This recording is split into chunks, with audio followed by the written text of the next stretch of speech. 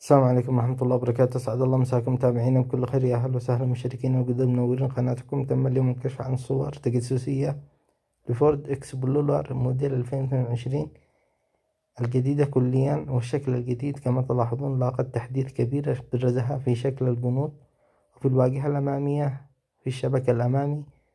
أصبح بشكل مختلف. مكان كشافة الضباب والصدام الأمامي كذلك. حساسات أمامية. الكشافات تأتي بعدسات ثنتين من نوع ال دي نظام التكييف التلقائي.